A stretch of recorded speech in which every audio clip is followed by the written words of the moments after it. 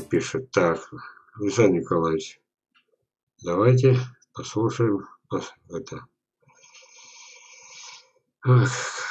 Что вы там пишете? Ну, уже почки с листиками тронулись в рост.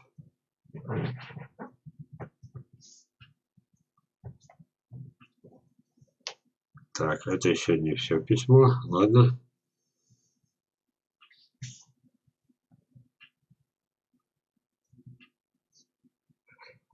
Так, так, так, так, так. Пока он пишет, давай подумаем. Был момент, когда я считал, что это самое, вот эти фотографии я могу прокомментировать, просто снять видеофильмы, я их снял уже не одну тысячу. Вот. Или все-таки вебинары продолжать. Вот. Дело в том, что вебинары это живое общение. И, возможно, каждого вебинара что-то попадает в книгу. Вот. Так что пока будем считать, что мы продолжаем.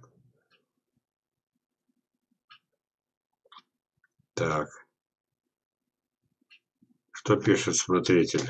А он еще пишет. Так что давайте пока продолжаем. Так, теперь семена только сухие. Цену скидываю аж до 25 рублей. Так. Список есть в этом самом, на моем сайте. А, в гостевой. Так.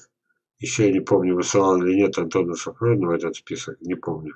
Сухих семян. Потому что, ну, ну сколько мне Значит, я убедился в том, что как минимум, не знаю, меня видно или не видите, как минимум, я не клянусь, я молча перекрестился, значит, прошлогодние косточки, а я же, помните, скидки делал 20%, высылал сухие семена.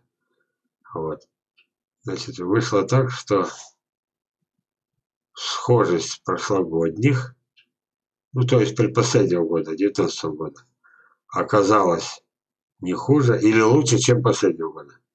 Вот, я перекрестился, это все правда. Поэтому можно запастись сейчас. Так. Назовем их прошлогодними. 15 рублей. А те будут минус 25. Вот. Дорого, да, конечно, дорого. Но если вот такое дерево, да, вот как сейчас рядом с моей физиономией справа, наверное, оно стоит 25 рублей или 15. Так, что там осветитель написал? Есть ли шанс, что цветочные просутся после почек с листиками? Так, дело в том, что, как правило, не просыпаются. Это одна из тем а, простых, понятных. К сожалению, сейчас я не могу вам прямо сейчас показать ветку крупнопланом, где, например, на абрикосе, а речь идет об абрикосах, вот они, три почки или целый букет. Причем в центре этого букета обязательно будет ростовая почка, а вокруг цветочная. Сколько я прививал, а я рассказывал, я, я хвастаюсь, я за свою жизнь вырастил 30, 30 тысяч саженцев. Вот отсюда такая смелость учить других.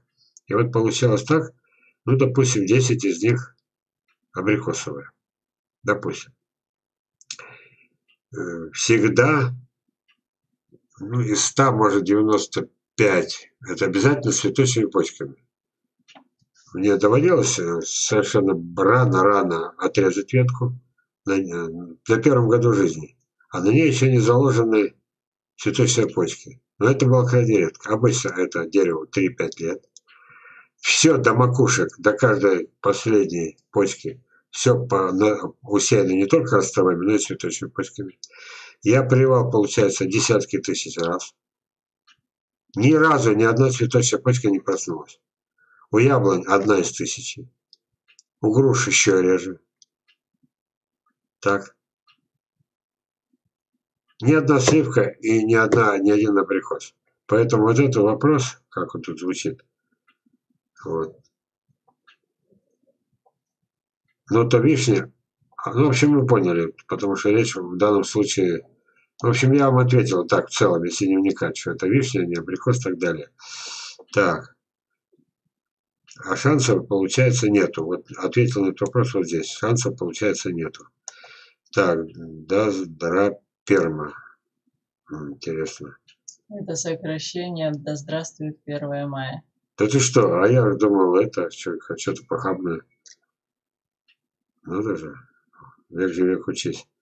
Так, вот метод Киктенко. Ознакомьтесь, может прокомментировать. Нет, нет, э, никогда. Дело в том, что мы с ним наверняка люди одного уровня, одного поля ягоды.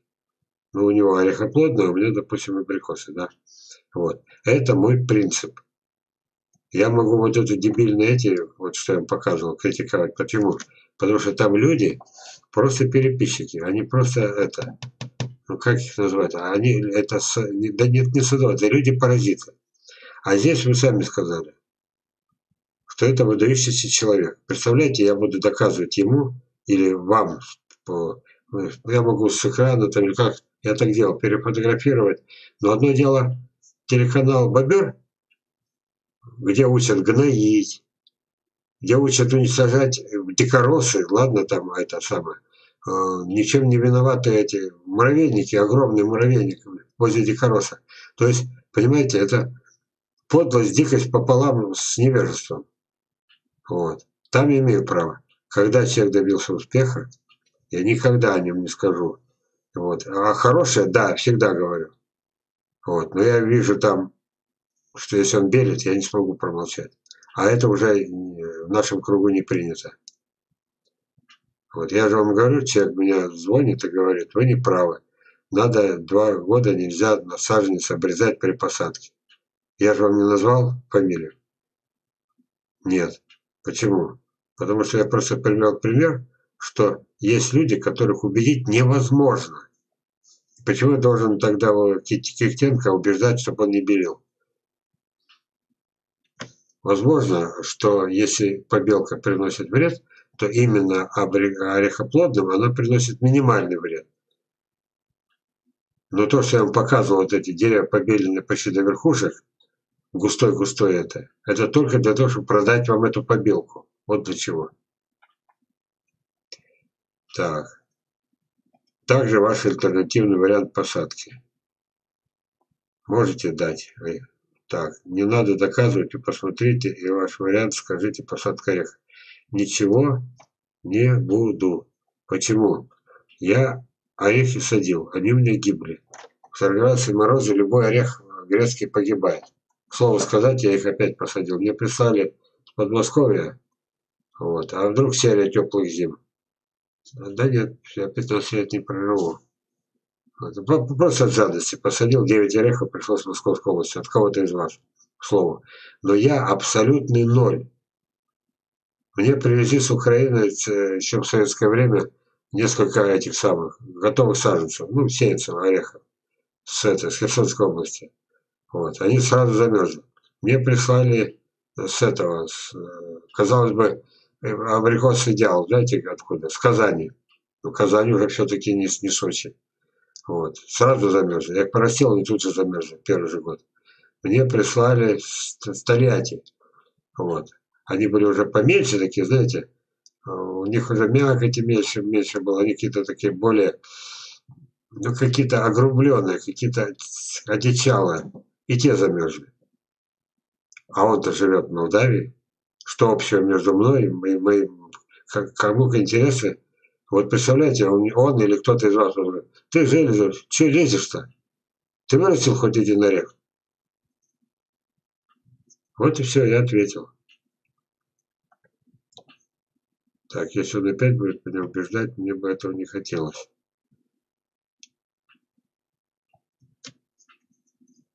Может быть, мои абрикосы лучше, чем даже в Молдавии. Может быть такое. К орехам я не суюсь.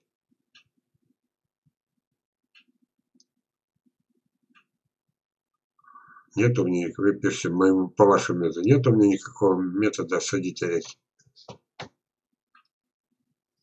Так, я хочу попробовать сажать на дерн с бугорком, я не из Сибири. Насчет э, сажать, э, если я, еще раз говорю, я все знаю про абрикосы. неплохо знаю про груши, допустим, про сливы. Я знаю, что эти, эти терпят сырость, эти не терпят. Этим нужен бугорком, эти могут без бугорка прожить. А это разница-то принципиальная.